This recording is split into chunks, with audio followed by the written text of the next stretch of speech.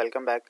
Chapter two की हम बात कर रहे थे, उसका टॉपिक आज का जो है वो 2.4 है बॉक्सिंग एंड अनबॉक्सिंग अब बॉक्सिंग एंड अनबॉक्सिंग होता क्या है? सबसे पहले इसकी डेफिनेशन है ऑटो बॉक्सिंग भी इसको कहा जाता है।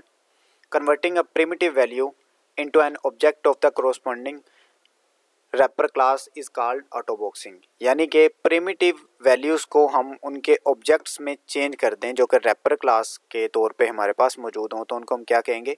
ऑटो बॉक्सिंग या बॉक्सिंग कहेंगे। अब प्रिमिटिव वैल्यू कौन क्यों कौन सी होती हैं? प्रिमिटिव डाटा टाइप्स हमने पढ़ी हुई हैं, जिसमें इंट था, जिसमें बोलियन था हमारे पास डबल है, ठीक है?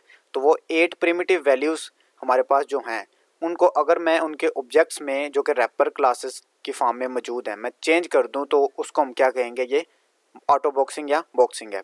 अब ये रैपर क्लासेस कौन सी होती हैं? रैपर क्लासेस सेम जो प्रिमिटिव डाटा टाइप है, वही होती हैं, लेकिन उनके सामने हमें क्या मिलता है जी? जैसे ये हमारे पास बोलियन है तो इसकी रेपर क्लास क्या है जी? सेम बोलियन ही है, लेकिन बी इसमें बड़ा है। और इसमें बाइट है तो ये उसकी रेपर क्लास है बी बड़ा आ जाएगा तो ये उसकी रेपर क्लास बन जाएगी।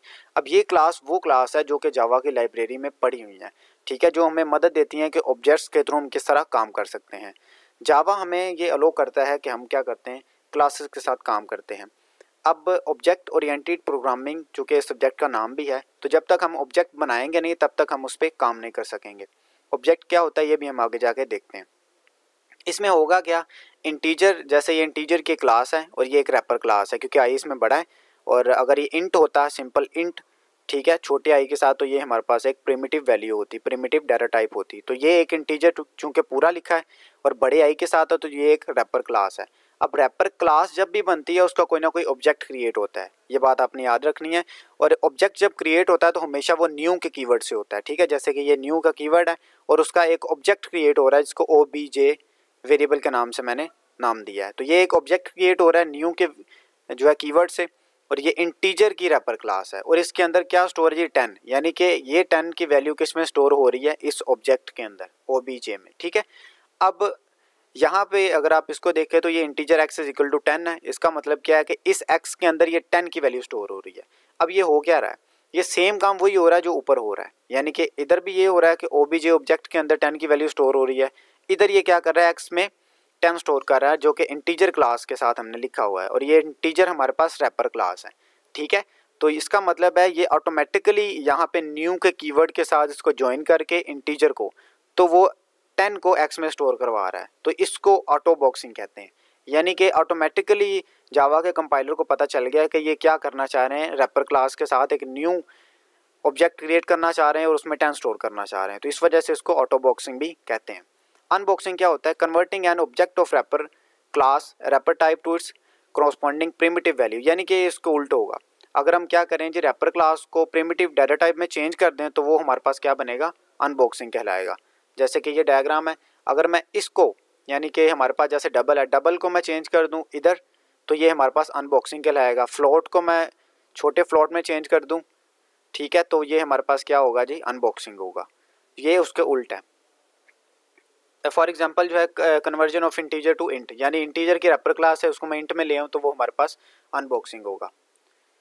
अब ये उसकी प्रिमिटिव डाटा टाइप हैं, जो एट हमने अब तक पढ़ी हैं।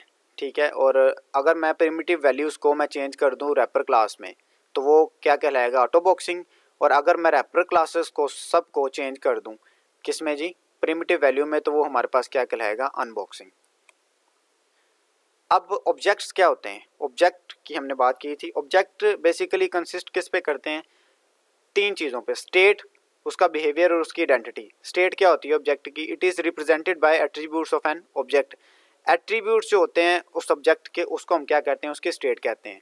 It is also reflect the property of an object object की क्या प्रॉपर्टी है, वो उसके क्या होंगे जी स्टेट इसके एग्ज़ाम्पल हम देखते हैं आगे जाके। अब फॉर एग्ज़ाम्पल यहाँ पे उसका बिहेवियर है तो बिहेवियर क्या होगा जी?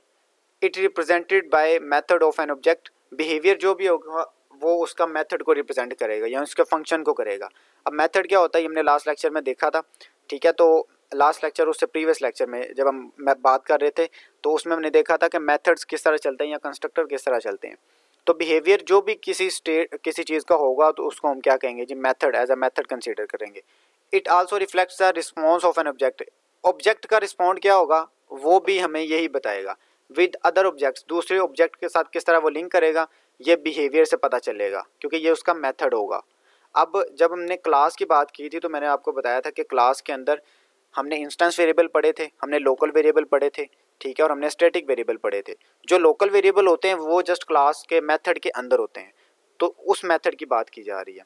इंस्टेंस वेरिएबल जो होते हैं, जो क्लास के बाद डिफाइन होते हैं, और मेथड के बाहर होते हैं, ठीक है, और स्टेटिक वेरिएबल भी उधर ही होते हैं, लेकिन उनके साथ स्टैटिक का कीवर्ड आ जाता है।